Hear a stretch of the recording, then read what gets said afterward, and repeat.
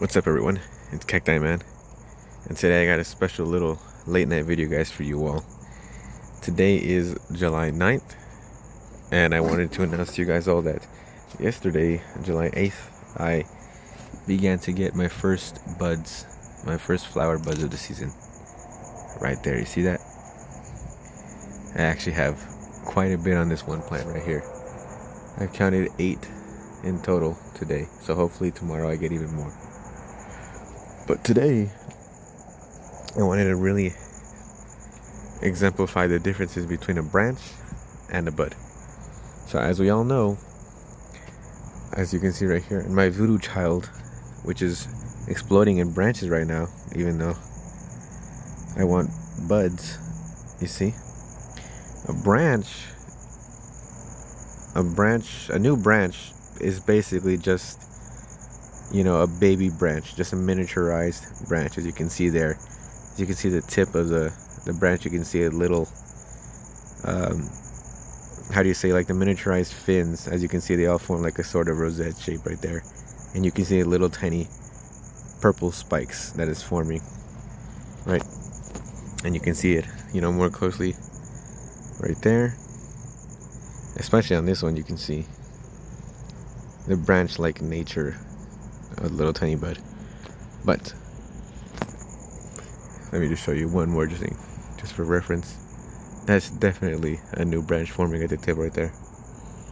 And for comparison, over here is the new bud. Sorry for whispering, I want to keep my voice down because it's night. So, here is a branch on the very end of this and then right here, it's a bud. As you can tell, it's much, much more bulbous, right? It's very smooth. It's yellow. And as you can see around the node, around, it's getting pushed out like that. And it's very bulbous, especially in these brand new emerging buds right here. You can see the, the node is really bulbous as it's starting to emerge you can see how how thick it is right there. I mean, usually it's pretty thin like this. You can see it's no bud, thin, and then bud forming thick. So that's how a few ways you can spot a bud, and as you can see, it's like really vibrantly yellow, like almost neon, as you can see. So I think that's pretty cool. So, as it is for me in Southern California, San Bernardino County, it's uh you know i guess barely starting the summer season so keep a lookout guys especially for your old mature branches like this that have been growing for like two years or so two years plus maybe even one year if you're lucky. You know keep an eye out for brand for buds because they're coming guys. Flowering season has begun. But yeah hopefully these evolves into fruit if we're lucky.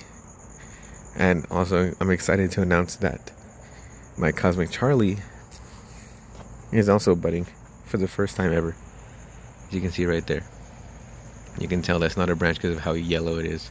Well, in this case, orange and how smooth it is. So that's super exciting. Can't wait to see it just fruits.